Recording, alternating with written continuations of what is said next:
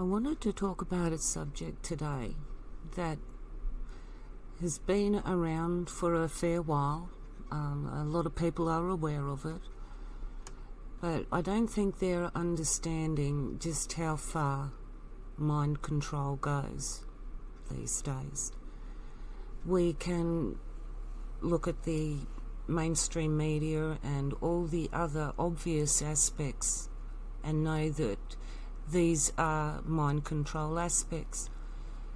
But I'm going to share with you very briefly um, a story, well, my experience. Now, before I do, I'm just going to quickly tell you I'm I was born in Tasmania I left home when I was 19, lived around Tasmania and worked there until I went to Melbourne just after I was 21. Lived and worked there, then I went all the way on the train over to Western Australia. Lived and worked there, went to Kalgoorlie, lived and worked there, then I went all the way up the west coast of Australia up to Darwin, lived and worked there then went all the way down, drove all the way down through the middle, lived up the north of Tasmania for a few years, then went back to Queensland. By that time, I was uh, in a relationship, and Queensland was his home state. So, went to various places in Queensland and lived there for the bulk of that time until I ended up in New South Wales a few years ago and then back in Tasmania where I am now.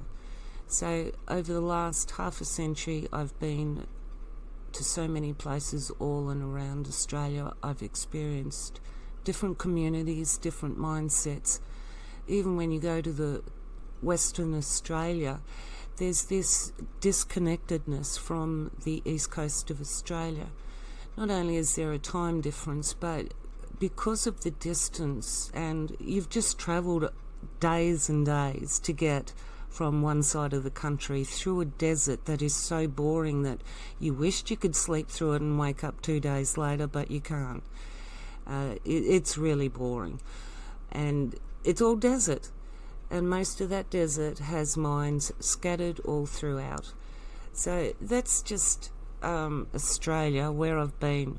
I've been all round, and yes, all through uh, in when I've been living in different places. I've done the tourist thing, gone inland. I've been all the way to Canberra through up to the snowfields, and I've been to the. Well, I lived out at Emerald in the Goldfields area. I've lived up at Mackay. Um, it's. I've lived in a lot of different places, from coast to remote, a lot of mining towns, because that's what my husband was then involved in. So, but I ended up in New South Wales in this area about five years ago.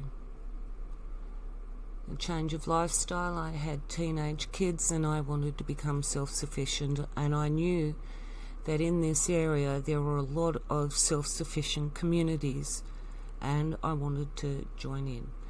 Now, I'm giving you an overview because I'm only going to f- try and focus on one particular incident here because it's related to a much, much bigger thing that is still in play now. And I do believe it's actually affecting people in a real way today, even online on YouTube and places like that. Um, and it's funny that the the reason that I started uploading in the first place seems to be the reason that well this has been bothering me for for ever since I started uploading anyway because there's been things that um, I don't look for them these contradictions that just show out to me. And it's like um, you've once you've seen it you can't not unsee it and you've got to find out well why does that contradiction exist?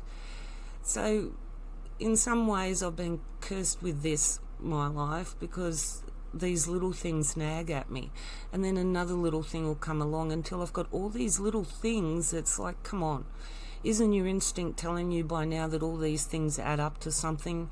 And I'm trying to project what I want to perceive rather than what reality is.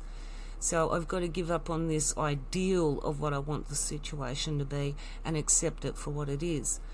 So um, when I wound up in this community in Chowan Creek, this area over here, this big round thing, is called Mount Warning or Wollumbin as the original people call it. Uh, it was a super volcano billions of years ago. My theory is that it was probably largely responsible for forming the large part of Australia's east coastline and the mountainous regions, all the way down to probably here in Tasmania too. And when it collapsed, it probably caused a major split. It was a super volcano, it was a massive area. So you have to imagine that even the area I'm showing you now, what's left of it, it encompassed a much larger area. But these um, mountain regions through here are beautiful. It's it's lovely area.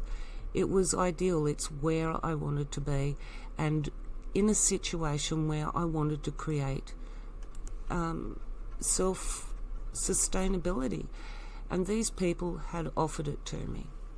So I ended up at this property called Gunyaway out at Chowan Creek Road. I'm not going to get too much into it because um, at the time I was in a tent with my teenage kids and someone had offered a garage we could stay in and be part of this community that was growing. So I jumped at the opportunity. It wasn't what it was made out to be, but uh, that's another story. This one, I just want to focus on, and why I'm zooming in here is because this is the house that I'm going to be talking about where it happened. This is Gunyaway. As you can see, it's a beautiful setting. And the boys that had set up this place, there were um, three of them, they're all relatives. And um, there's a big, beautiful river there. After I had a fallout with the guys, I went up and tented. I thought they were going to leave me alone, but no. See, one thing I was to find out that my ideal of communities and what they were, um, I was to find out that. Uh, yeah, reality bites. In fact, a lot of these communities are more dictator, more dictatorial than your own government, and yet they're so anti-government. But as I said, I'm going to try and focus on the one story. So, in this beautiful little area, uh, I'd moved into the garage, uh, myself and my two teenage kids and there was one other occupant there that we had to share with. He slept about a metre from me. Now, this guy kind of reminds you of um, Gollum out of Lord of the Rings.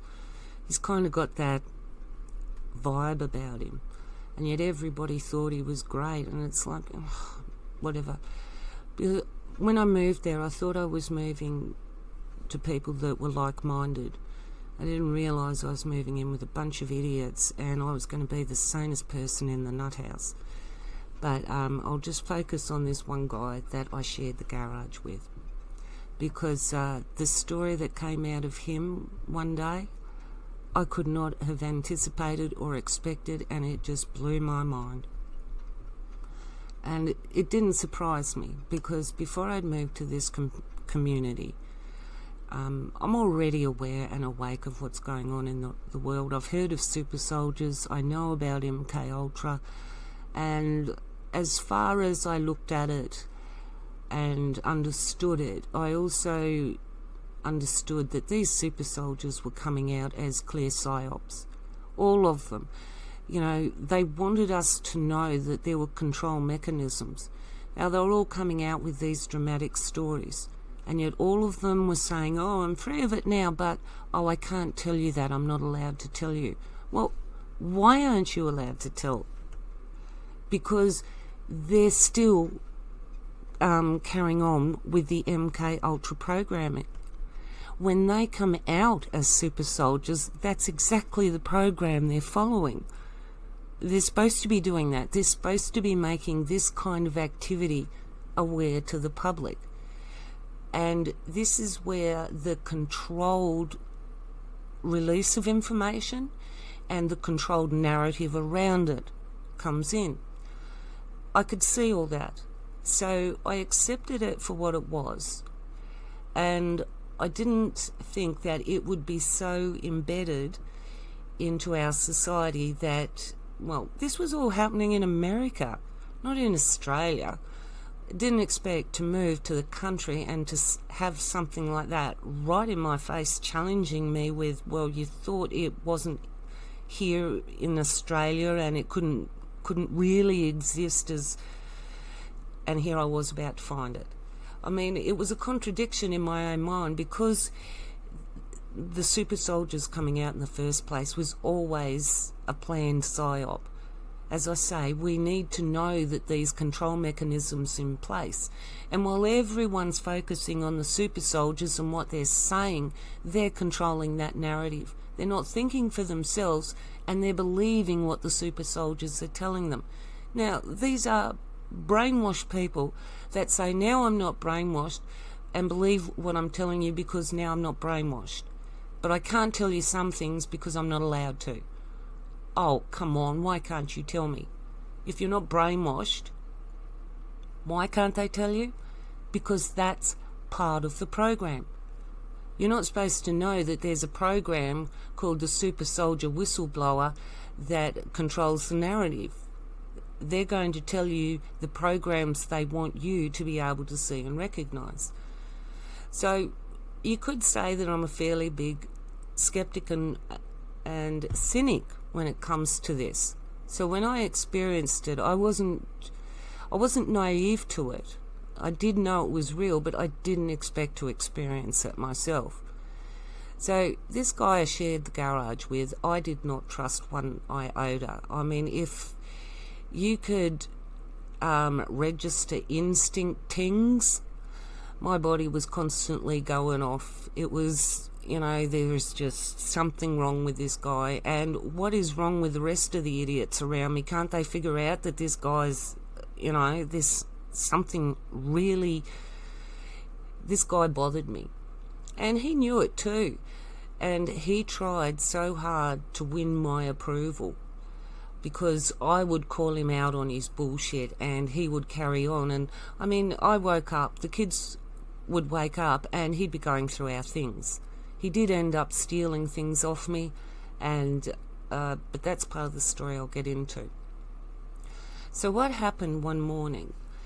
Uh, it was only him and me. We were sitting out on the veranda, and because of this tension that had been between us, where he knew I wasn't buying his bullshit.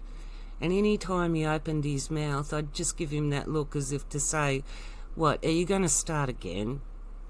Because I don't want to have to call you out. It's too early in the morning. But I wasn't prepared for what he was about to say to me. I really wasn't. He turned round and he said, You're one of them. And I said, What? You're one of them, aren't you? You're one of them. I couldn't figure out what he was talking about. He did start ranting and rambling, and I was picking up on a few words as he was doing that, but my mind was spinning out because uh, why I was spinning out because when he he was sitting there and it was almost like he could see this switch, and that's when he went, "You're one of them." And now I've had a, a few years to think about this, and it's not that I've thought about it often because when I this situation ended, I wanted to put it behind me. I didn't really want to.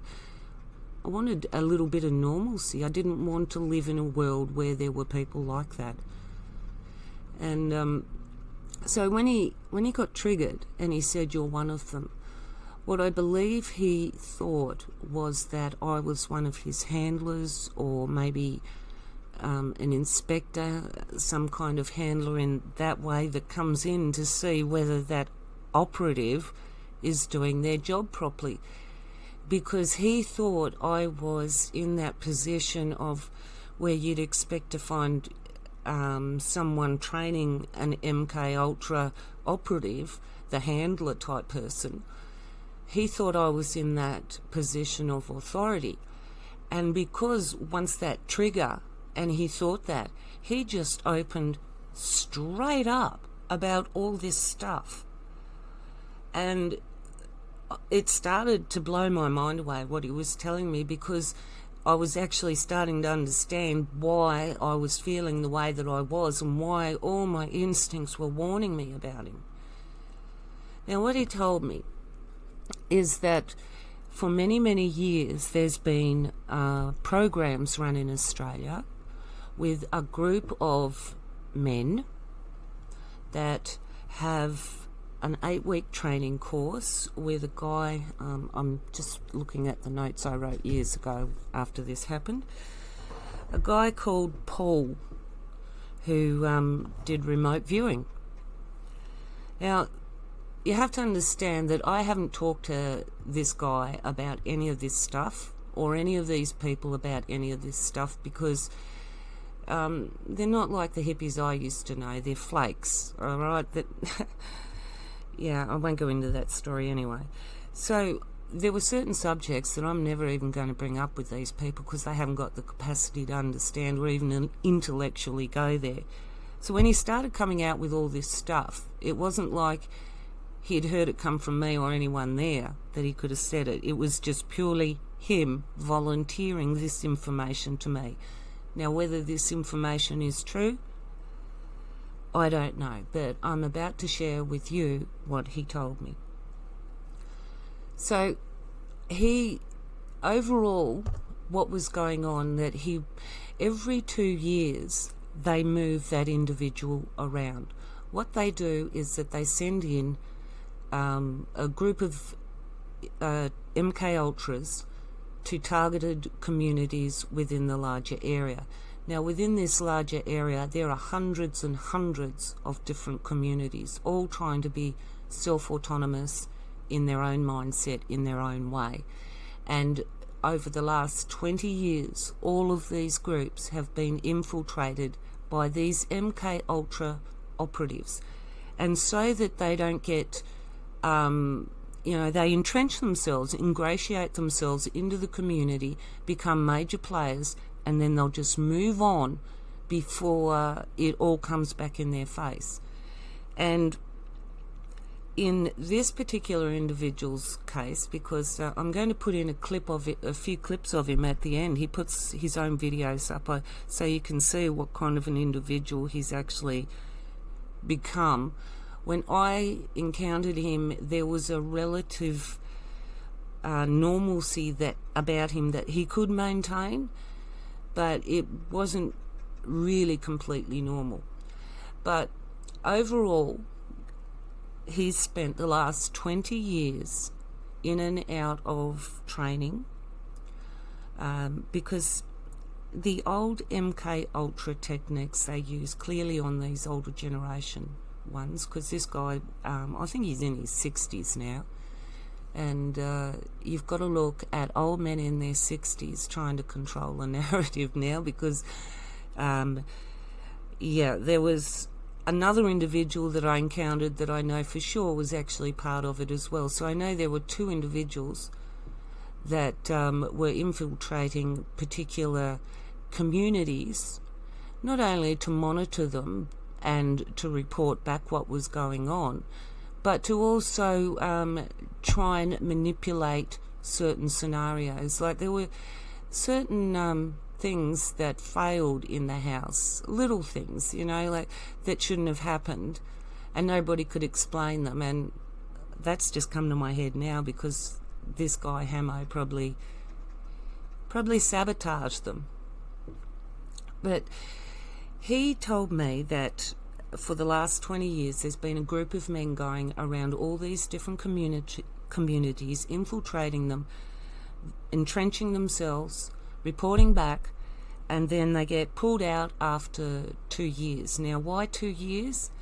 As he explained to me, is because it seems to be that because of the old techniques that they were they used on them, and I don't know, maybe it's because of the mind, uh, the damage that they caused, and how they had to continue down a certain line. But apparently, the programming breaks down at the end of two years. So it's not only a matter of retrieving your MK Ultra subject and moving them on to the next one. It's also a matter of retraining them because the programming is breaking down. Now, this is all what this guy is telling me. This is not something that I have made up myself. So, as you can, he spoke to me for a, a good hour or so, and it, all the different things he was telling me. So, he told me that his name was the Jester. Now, there was another man that came round and visited. His name was Frank, and I, I know his last name, I couldn't even remember it, but it's better not to use them anyway. So we'll just say Frank. Frank, too, was a bit of an odd bod. I didn't see him very often. And when he did show up, um, it was like, it, again, he was really nice to everybody, and everybody loved him. And you know, oh, here comes Frank. Oh, look, he's bought food for us again, too. Oh, isn't he a nice guy? And he pulls out his banjo and he starts having a play. And yes, that's also another element here.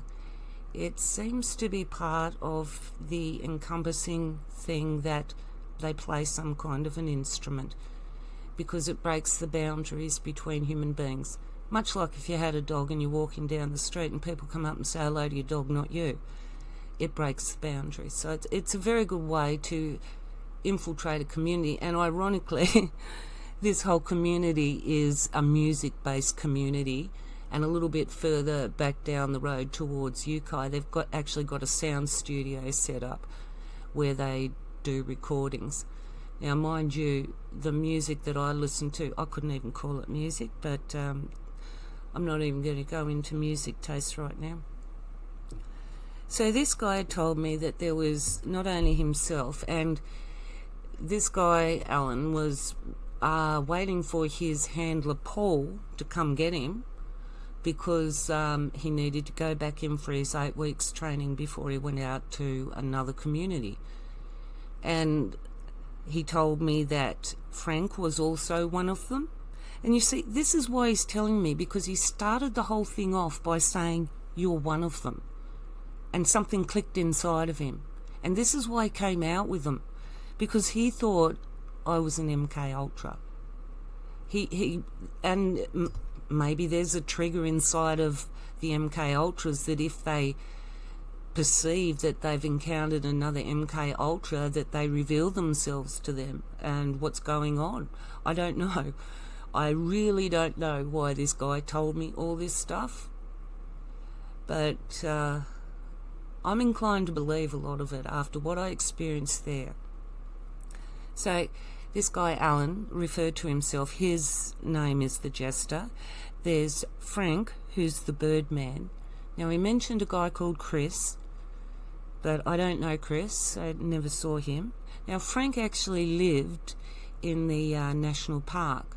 He had already lived there for six years, I think. He was squatting in his car and I think it's after seven years, if you've been squatting somewhere, you can claim squatters' rights. That's what he was going for. So he was in the national park squatting for six years, but he would go round to all these different communities. He was known to all these different communities. And so I suppose he could have been the coordinator because after all this happened, Frank did come and visit a couple more times after that. And because I, um, Alan had uh, mentioned Frank the Birdman and actually made sure I understood it was that Frank, when he showed up again and Alan disappeared with him, I thought, wow, okay, there might be something to this because I d- I didn't trust this Frank guy either. I don't trust people that are too nice. Um, my dad was an alcoholic, he was a, con man. And I'm sorry, but I can pick up a con. Um, maybe that's why I was uh, having my alarm bells go off all the time around this guy because he wasn't being honest. He was a con, an MK Ultra. And this guy, Frank, that had come round to visit, he was too. So there was Alan, Frank the Birdman, Chris, he never gave me a code na- name for him. He mentioned, all right, I won't say Brett's last name, a guy called Brett the Spider. And then he referred to the Paul, this guy Paul, who is his trainer who comes in and does the eight weeks training with them and sends them on their way to different things after that. And he explained to me that it was because his programming was breaking down. Now, I'm intending to believe this because in the time that I'm talking to him and in between him saying all of this, um, there was all these other things that would just come out of left field that he would talk about these um, dreams and visions and uh, how he was, you know, talking to angels and I mean, bizarre. I'm not going to go too much into his bizarre stories because the clips I put at the end, you might be able to imagine for yourself what kind of stuff he could come up with. So he also said that the Quakers at Bentley had also been infiltrated by them.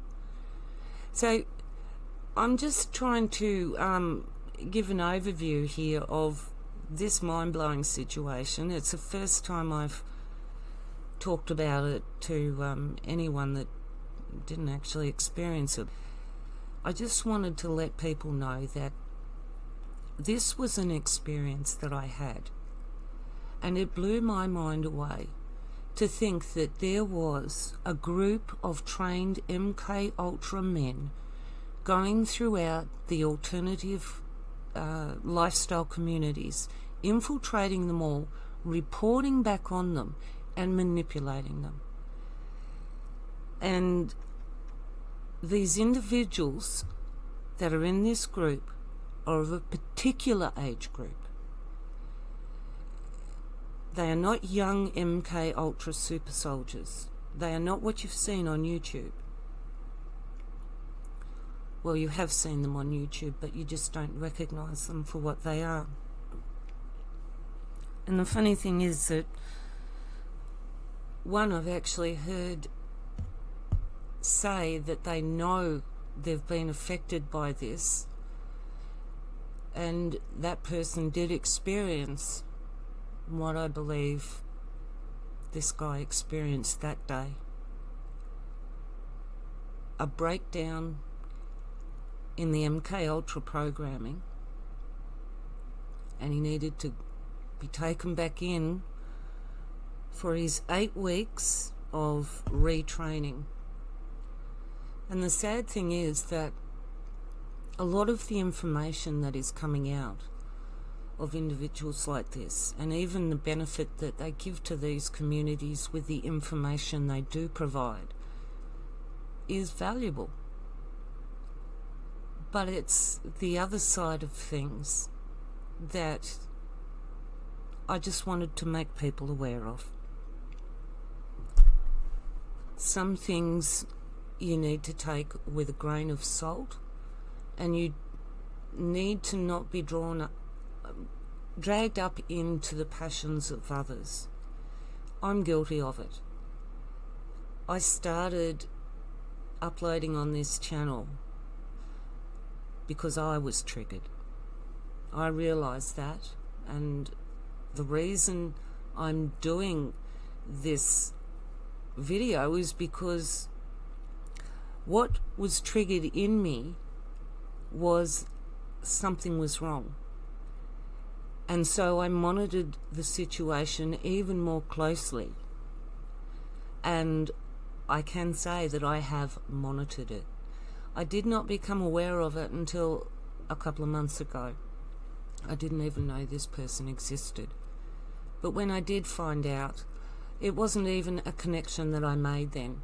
It was only after observing and listening to so much that I be, that uh, I noticed little things.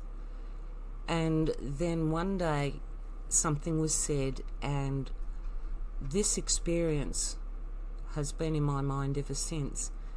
Now, rather than set about to prove that I was right and this person was wrong, I actually tried to prove myself wrong. That I was overreacting, that I was, you know, reading more into it than what there was. And so I've set about to try and prove myself wrong so I can say, right, get that stuff out of your head. There's nothing, no reason to have it nagging at you. There's no reason your instincts are telling you that something's not quite right here. So, in the thing of, you know, how you keep your friends close and your enemies even closer, I have made a lot of observations and I've done a lot of research and digging around and I've questioned whether I'm biased, whether I'm actually trying to connect these two things together. And I've really tried to debunk myself in what I'm thinking. But the more I look at it, the more I realise that, well, like so many things, I'm proving it more to myself, not debunking it. So, as I said, I want to get really in depth to this. It's it's not very easy thing to talk about to try and explain it in the way that people can understand. And it's something that I experienced, and even if I try to tell you in a time flow manner of how I experienced it, a lot of people are still going to struggle to understand with what I went through, what I saw, and what I heard.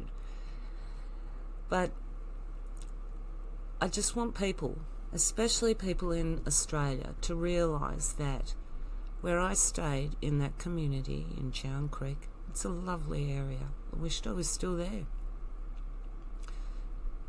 That it's part of a larger community Oops, let's see. Can I bring it in? So, yeah, there's Byron.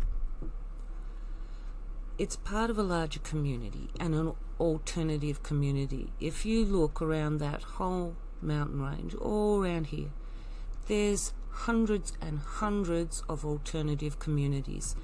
And it covers, well, I should have showed you all the way around here because it's this whole area. Now, this whole area is northern New South Wales and just over the border is southern Queensland, where someone moved from Byron Bay in northern New South Wales over the border into Queensland, into southeast Queensland, or South Queensland, but not North Queensland. That's way up where the crocs and the stingers are. And that's why most people live uh, lower uh, down in Australia you get up past a certain point, your blue bottle stingers turn into man of war stingers and it turns into a real life and death situation. And you've got crocs. Yeah, uh, your waters are not safe. I mean, you want to jump in the water and swim to cool off, but you can't because there's too many things in there that can hurt you and kill you. So the communities and uh, are further down the latitude that they're not so up in the tropics. So it's just, I watched something yesterday, and these people in England kept saying that this person was in North Queensland. It's like, no, they were in northern New South Wales and they went to South Queensland. And the interesting thing was that mistake wasn't corrected, which I would correct. It's like, no, it's not North Queensland. I don't live there. That's too bloody hot. I'm not going up there. And I've lived up North Queensland. It, and I've lived in the Northern Territory, it's very stressful on the body. You go through the silly season in um, the Northern Territory where it thins your blood down. There's going to be one clip that I'm going to show you where, uh, and I'm going to show you the one where too where he says he he's about to disappear because this is what these um, trained ultra program people are, uh, MK Ultra program people are trained to do they they go in for a couple of years and then they move on. And as this guy explained to me, it's because their programming starts to break down. The old method, and I suppose the brain damage that they did to them in the first place, they had to keep on with this old method. They couldn't change it up any. So they have to just keep bringing them in every couple of years, taking them through the retraining and putting them in that mindset and sending them off to another one. But he's the one that told me all this because he thought I was one of them. And, well, I couldn't be further from one of them. I couldn't even convince people if I, if I wasn't or I was. I mean, because half of these people don't even know. It's only when they get to the end of their breakdown, um, their programming, like this guy did, where um, there's that glitch in the personality, where the personality is not the full on thing that's presented. There's this part of the programming that's coming in that's saying, all right, it's breaking down, you need to follow this procedure. Because he had told me that he had called his trainer and asked him to come and get him and he was waiting for him to come get him and they for it to go for his retraining. Now, what the remote viewing had to do with this um, Paul guy, I don't know, but he did tell me that this Paul guy was very psychic and. Uh, yeah, there were, were lots of different things. I, I can't remember a lot of what he said because you have to understand a lot of what he said came in between a lot of crazy he's telling one story about a, a, dream and and an angel and all this other stuff and then the next thing that'll just stop and you'll go straight into something else and that'll be a little bite of that and then you'll go back into into something else Yeah. so it was hard to follow and piece together i wished i'd i had it all recorded and was able to go back and listen to it over and over again because i'm sure i lost so much information he was telling me. I mean, afterwards, I went away, and um, let's just say that the experience then is actually doing to to me what it's uh, did then, what it's doing to me now. Even just talking about this experience, I've got the body shakes up a bit because there was something going on that really alerted. It, it wasn't right. It just really wasn't right something didn't fit into the natural scheme of things. Now, I can tell you all of this, my experience, and what I went through, and what I believe. You don't have to believe it. But if there is any truth in it, you need to wonder about those that might be controlling a narrative on the alternative side of things and not even be aware that they're controlling it.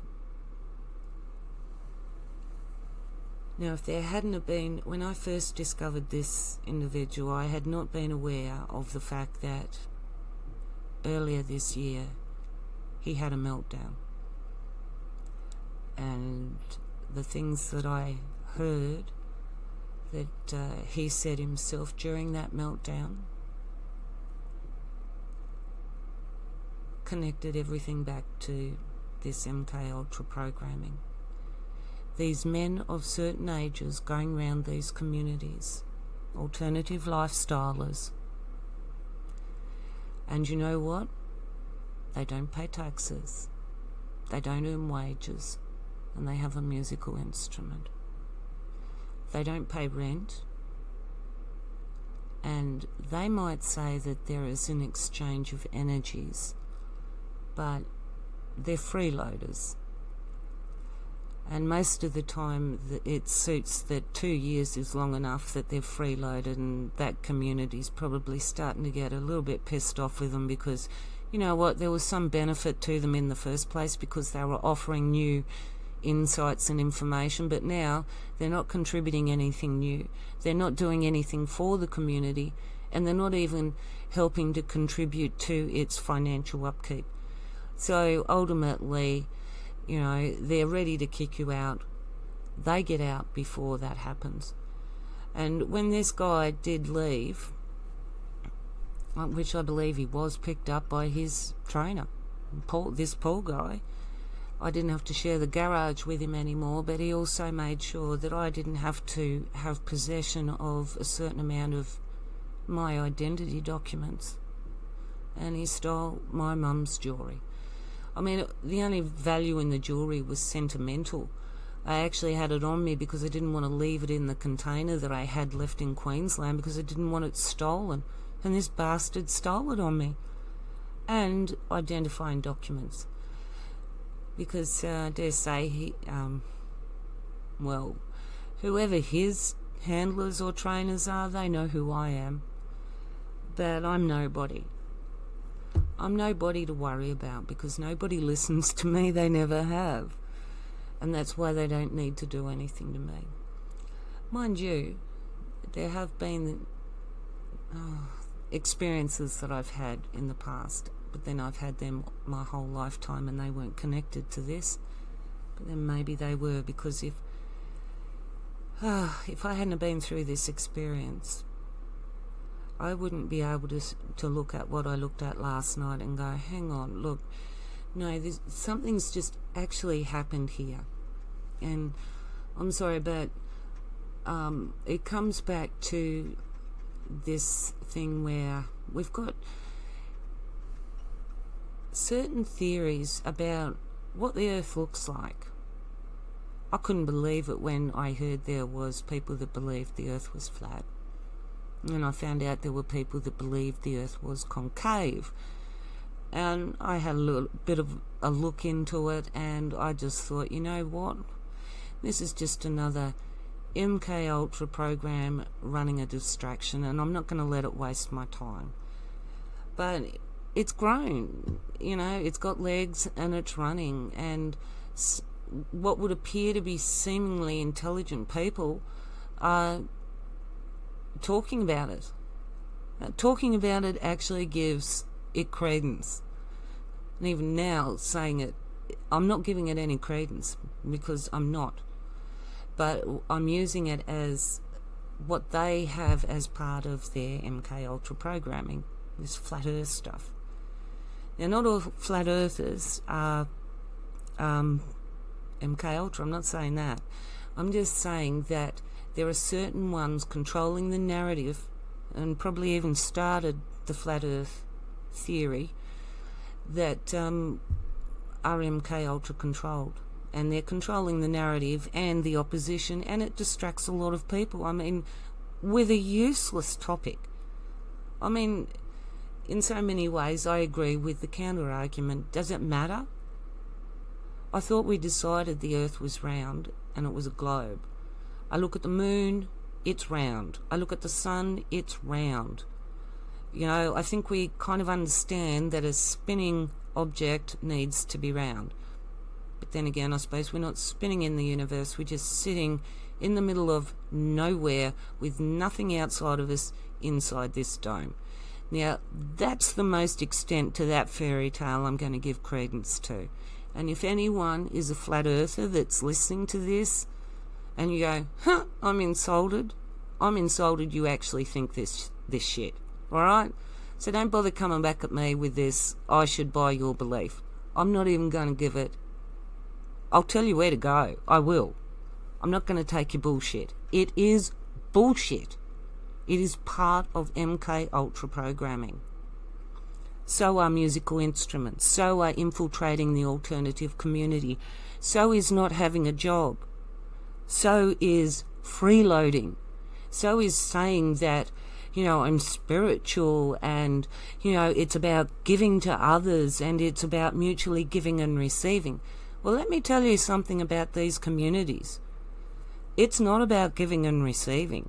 Oh, on the surface it is. There's all this fluff and talk about it. But the only interest they have in you is if you can contribute money. And if you can't con- contribute money, they don't want you around. So the only reason that these freeloaders are kept around in these communities is because they bring in people that bring in the money. Okay? It's well, I'm getting excited. I don't want to get excited because this is how people lose me when they get all angry about something and not rational. Because when you get angry, you're not thinking clearly and you say things that are half truths and merely exaggerations to try and make your point. And I have seen enough behaviour exhibited out of other people to know that, you know what, I am not going to go down that road and be passionate because that is also part of the programming. What we need is calm and clear heads, not anger, not frustration. And we need people that are not telling the same things over and over and over and over. I might be a very fickle kind of person, but once I've heard something, I don't need it told to me a hundred times. And I don't need to tell people a hundred times. I'm going to say to you, well, look, I'm not going to tell you again. And especially if I've done a video on it, I'm going to say, look, go back and watch the video because I'm not going to repeat myself. That's kind of redundant. And it is redundant to repeat yourself. And having said that, I've repeated myself so many times through here in trying to get this point across that there are people in Australia, and I know there's quite a few of them, and even in other countries that are listening to this individual. This individual also says it's not about money, that's why the channel's not monetized. But it is about money because there's always an opportunity to offer Bitcoin or Patreon or to support and donate these people. I'm never going to ask for a single cent from you, not a cent. And I'm not going to ask you to believe anything that I say. And when I say I'm doing this because I believe in it, that's reality for me. I'm doing this because I want other people to not be put in a situation that they've got no control over. And look, this guy that I've been watching for the last month or so, uh, I agree with so much of what he's saying and doing. And this is where it makes it hard to actually come out and say something like this. Because I will continue to listen to him. But I also know that when I'm listening to him, who he is. And that's all I want you to consider. Who that person is. And is it benefiting you to be hearing the same agitation every day? Like, I know that when I get angry about something, it really makes me feel good to listen to somebody else that's angry about the same thing. But do you need that anger every day? It's like when I had a dog that wouldn't do it as it was told, and I was constantly having my good mood turned into a oh, and I'm getting a sore throat because I can't yell. So when I'm calling to the dog and telling it to behave and all of these things, I'm getting angry. And in the end, I, I said to myself, you know what, this is going to be my last dog because I do not need to be put in that anger. I want to have a more peaceful life I don't need to have a dog. I don't need that in my life. And as long as I have a dog, that will always provide scenarios where I've got to control it. Uh, you know, I've got to do all the different things that I really don't want to do. And being a dog owner is kind of like being a slave owner, and I don't like that. They expect that you control your dog. I like to have a mutual relationship with an animal. And like I do with all other animals, whether they're human or non human, a one on one personal relationship with them. I'm not here to be master or dictator to anyone. I'm, I'm just me. I want to live in this world. I would have preferred to stay right where I was in those beautiful, beautiful hills and a lovely climate. The people, well, if you like flakes that talk about the same thing all the time, you know, if you like a status quo of being a constant victim and, you know, you're living the alternative uh, lifestyle in opposition to the, the tyranny, yeah. It's not true freedom, though. These communities around here, um, there's so many different ones. There's the water uh, people, there's a community that has um, sexual preferences requirements. Yes, if you are not of a particular sexual uh, persuasion or thought process, you can't come.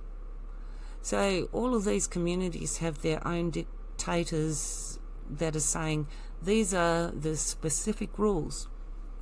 And each of them, if you speak out against those rules, well, I spoke out against those rules. I got kicked out. And yeah, I got kicked out of the garage and I went and set my tent up. My kids stayed in the um, garage where they were. I mean, they're, they're older teenage kids, they're young adults, and they're quite capable of looking after themselves, and they had it to themselves at this stage. This, this Alan guy had gone. So I got kicked out, and yeah, after a long, long process of different places and confrontations, some of them I have a recording of that I intend to share of in the future, just to show you the kind of people and scenarios that I'm dealing with, well, that I dealt with, and that you are dealing with too. I'm going to repeat myself again here, and it may be redundant because I've already said it. But before I finish it off, I just want people to know that please consider if what I've said has any foundation to you. Is there someone that is pretty much telling you everything you want to hear? Even acting the way that you want. And also ticking the boxes of the certain things that I've described that are classic to an MK Ultra programmed person.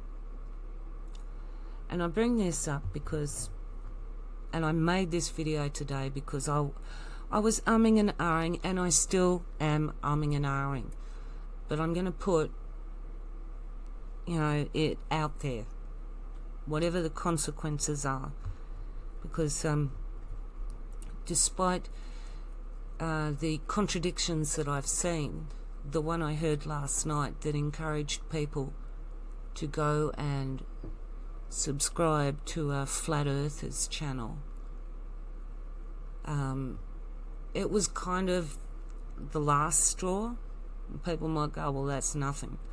As I said, it's a combination of many, many, many, many factors, and I could point out many of them and I'm not going to do it in this video. I just wanted to tell people, especially in Australia, and well, anywhere if you're listening, you need to look at the old MK Ultras. The ones that are running the programs I talked about, like this Alan Guy. They are going to be in their 60s. And they're not going to just be in America, as I thought. I found them in Australia. They're going to be in England, and probably all over. They're probably going to be in every country. So look for them in your country. But don't necessarily look for someone that's going to fit one particular profile either. I'm talking about ones that have targeted the alternative communities in this northern New South air, northern New South Wales area. There are many other groups operating that target for other reasons. So, how many are walking amongst us? How many of these, well, just thinking of uh, Yuri Bezmenov's subversion video, where you implant someone, you know, for 20 years and then you put them into play and they're always in public. They're they're high profile public people. this is why I put out the video on subversion, and I wanted people to to consider that subversion is done more than just by, you know, governments to another one government in a country to another country. Governments do it. Individuals um, with a, a group mindset that have the desire to achieve something and the ability to achieve it. MK Ultra is one of those things that you need to consider is all part of that. Along with the mind control that comes with manipulating the narrative in the mainstream media, media there comes the MK Ultra mind control that is manipulating the narrative in the alternative media. And, well, when I first encountered Alex Jones, I mean, I listened to him only for the reason for what I've been monitoring certain things now is that straight from the word go, there's something wrong about this guy. And I listened to something with Alex Jones in it last night. Oh, I can't handle his voice. He talks like this. Oh, sorry. I sounded like um one of those things, the Dalek out of Doctor Who. Loved watching that show when I was a kid. Anyway, MK Ultra comes in many different forms, not just super soldiers and media and entertainment, not just actors and not just well known singers. But for sure, certain things are used as a medium to uh, become popular with the masses. And also, don't underestimate sports. I have a very distinct view of sports. I always have. And after a few experiences I had when I was younger, I thought, you know what, you're nothing but a bunch of bad sports. This isn't fun. No, not not gonna not gonna play these games anymore because it's all about competition. And my mum, when she got to her 60s, everyone in her tennis club's going through surgery, whether it's knees, elbows, or hips. She was gearing up for a hip surgery that in the end would kill her. But most people, because they've played these sports and worn out their ankle joints, elbow joints, and hip joints, they need them replacing. Now, you have to understand that sports will wear out your joints quicker than what living a normal life will. So, when you're encouraged to play sports to stay healthy, no, you are wearing your body out quickly, and nobody gives a damn how crippled you're going to be in 10 years' time, or could even be in five years' time, because of how you've over-exerted your body physically. Now, you watch someone on a tennis court or even playing netball, how they stop start all the time, and ankle joints, knee joints, hip joints, elbow joints, wrist joints from swinging rackets all the time. I mean, all your joints are constantly getting worn down, and that's why they need replacement. So it's not only MK Ultra in the music, the actors, government, media. You need to consider them in the sports arena too, because the sports people are actors. Sports people are very self consumed individuals. How many interviews do you see with sports people? They say that I focused on me for the last five years. Everything was about me, so I could get to the Olympics or I could do this and I got this done and everybody went out of their way to help me. Me, me, me, me, me, me. And you're supposed to think, oh wow, all the sacrifices this person made. They didn't make any sacrifices. The, pe- the people around them made all the sacrifices and carried their weight while they did for them. Me, me, me, me, me. And why? Over something that's really important? No, I want to show people how good I am at something. I don't care how good you are at something. But I do care if what you think is going to start infecting other people with your stupid ideas. And the thing is that these people become celebrities just like anybody else, and the masses start to to think and believe like them. And that's where they start controlling the narrative. So you're not watching the news, you're not believing the government, and you go to these alternative places and you go, yeah, I'm with this guy. No, you need to be with you and with all your fellow men or women. I'm going to use mankind as a generalisation. Or oh, we're going to have to change that word because it's not politically correct. We're going to have to change it to person kind I'm going to say mankind. Eh, sexist. Mankind. And I'm going to leave it on that note. Bye. Hello. Some people would be wondering why on earth am I dressed like this? Well, I've had the sad experience of finding out that empires don't like kings. Now, these aren't pompous kings like you normally see in pompous places in empires. These are the meek, humble, original, first people kings who seem to get genocided and nobody wants to talk about them. And when you do, you have problems. I could mention the last king of king of kings. Now I said that with both two capital with small capital K's, if you understand what I'm talking about, not large capital K, Jesus. We have kings on this land who just seem to just drop down dead and no one likes to talk about it. We're on the island of Karta, and some of us have found out we have I have a DNA that's connected to this land 275,000 years ago.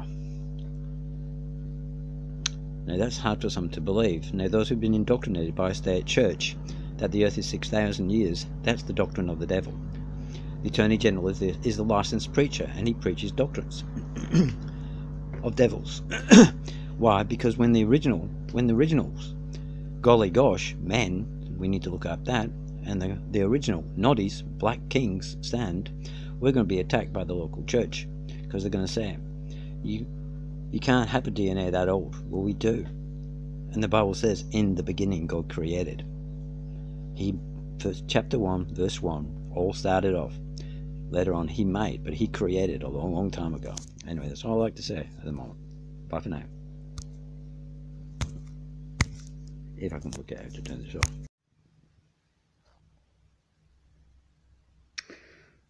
I have a confession to make.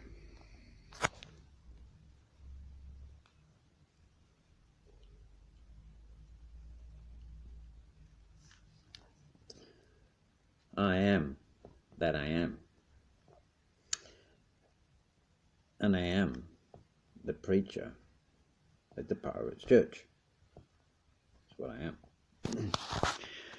I'd like you to, this was taped, I think last year, the year before at my first Pirates church meeting where pirates came along. Wasn't too many. but my first sermon I'm going to let you listen to and I was trying to amuse you as we go along. Thank you.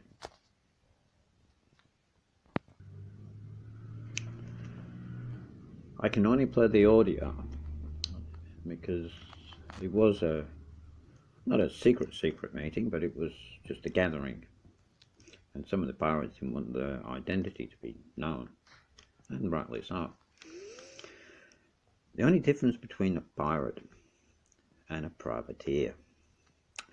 A privateer is someone who has been licensed to be a pirate, only to give his booty, or part of his booty, a tax, to the real pirate, a Regina an E or I is riding, taking for a ride, and so forth.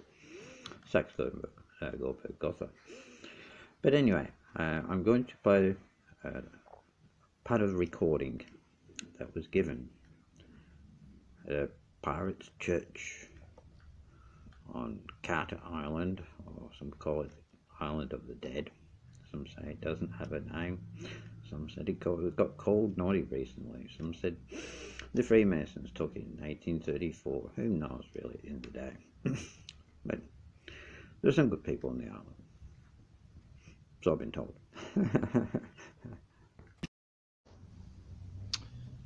well, hello, it's Alan Hamer, the fugitive on Karta, Kangaroo Island. Just thought I'd sing a little song. They stitched me up for the murder of Corey Rayney. Just Google Corey Rayney and the Attorney General knows, and they all know. But anyway, we wait and see what happens next. We even had the Governor General here a couple of days ago, Mr. Governor Glenn Stevens, who I said, shame, shame, shame, for covering up murder and the loss of possibly $80 billion. But anyway, apart from that, here we go.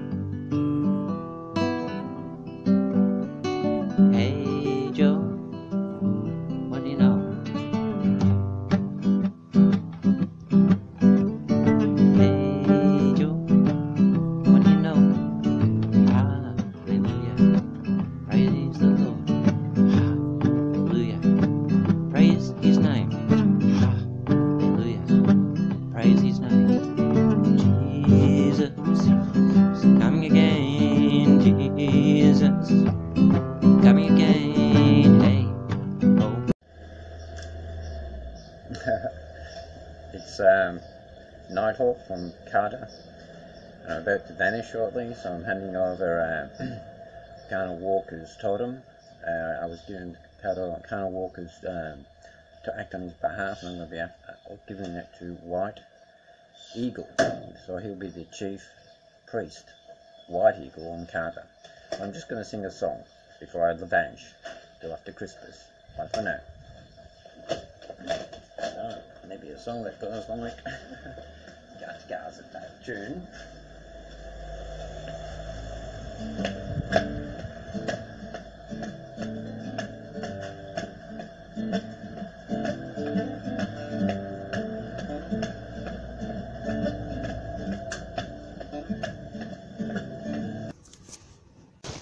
I've uh, recently found out that um, this will go down in history one day, that my DNA, my DNA, not who I say I am, but my DNA, for whatever reason, has come from a tribe called Hamer, H-A-M-E-R, which, for whatever reason, was on this land 275,000 years ago. I repeat, 2,000, 275,000 years ago, the Hamer tribe was here on this land. We're still establishing why they came here. I believe it was to catch up the the star walkers, the the special ones, the Abba originals, the pre-Adamites. Who knows? But I'm sure time will tell. But I have my DNA, and it has confirmed over more than 275,000 years ago, a tribe known as Hamer was here on this land. Now you say we came from Africa, from Ethiopia. I'm not sure. We could have come the other way, I'm not sure yet. For justice, and we stand for what is right. We hammer. If I had a hammer, I'd hammer justice in the morning. I'd hammer in the evening all over this land. So I'm Mr. Hammer, and a fugitive, and with the pending federal, federal warrant. On the 8th of October, I did, from the information I got, I made a video I am the King of England. That's a claim I'm making. No one's disproved it. I told Quentin Bryce. I've told Peter Cosgrove. I've told the Attorney Generals. I've told the Commissioner of Police. I'm the King. Leave me alone. And I did not kill Corey Rennie. Full stop. I don't care what you say. Nobody wants to talk to me. Why did I end up with my passports at her gravesite? Well, talk to the attorney, I guess. Let's put it in. But anyway, that's another issue. Thank you. The Emperor has no clothes here.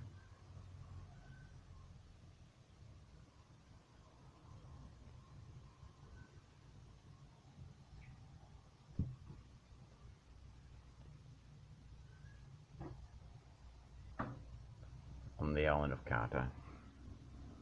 Roman Jerry. I am a Christian man. That's all I can claim to be, really. And if I'm a Christian man, I have to be an honourable man. An honourable man is a man who speaks truth. At the end of the day, that's all we have left. I used to say that when we come into this world, we have nothing. Well, we do have something. We have a soul and a spirit. We live in a body. We have a body. People wouldn't conceive what a body is worth, but we have one. It's a gift. And when we leave this world, I used to say, we leave with nothing. Well, that's not entirely correct. I left this world in 2003, momentarily, so it seems. Whether I was dead or dreaming, I don't really know. But I was aware I was wrong. I had to change my thinking. I left with something, my memories. My memories were all with me. I knew who I was, and so forth. I've learnt and was given a gift of empathy in 2013 after fasting for 40 days and thinking about injustice. I empathized. I felt something. I felt compassionate.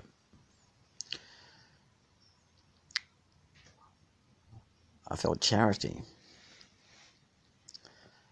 these are feelings that are quite strong, and um, and I guess I've learned if you say something, you do what you say.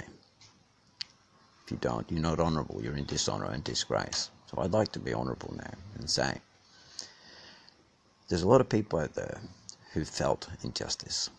There's a lot of people out there who are suffering. There are a lot of people out there who feel they're misunderstood. There's a lot of people out there who've been victimized.